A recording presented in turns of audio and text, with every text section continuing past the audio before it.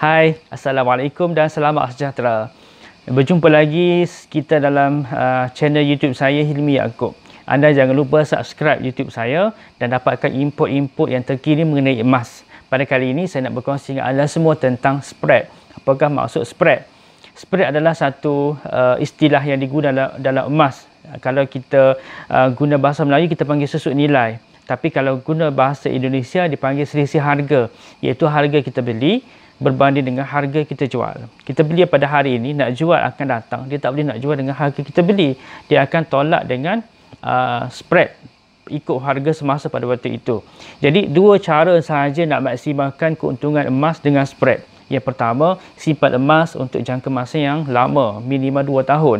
Kalau kita beli pada hari ini, nak jual esok, sudah tentu kita akan rugi sebab spread dia, sebab ada spread. Jadi, uh, kita beli emas untuk jual dalam masa 2 tahun ke atas, lebih lama, lebih bagus. Sebab apa? Sebab dia akan ditolak dengan uh, spread tapi ikut harga pada waktu itu. Contoh harga pada hari ini RM262 segram contoh. Kita nak jual pada masa 2 tahun akan datang mungkin harga dia 280 ataupun uh, 300 segram. Jadi dengan tolak spread uh, 6 ke 9% ikut berat uh, item itu jadi kita boleh dapatkan keuntungan yang lebih maksima.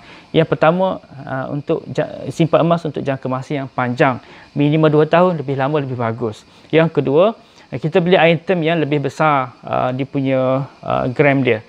Uh, contoh saya ambil perbezaan antara 10 gram dengan 100 gram. Uh, 100 gram spread dia lebih kecil.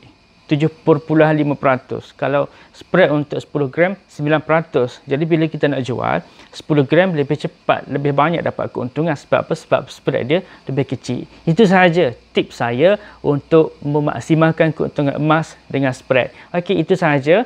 Uh, anda pastikan subscribe uh, YouTube saya untuk dapatkan input-input yang terkini mengenai emas. Itu sahaja. Terima kasih. Assalamualaikum.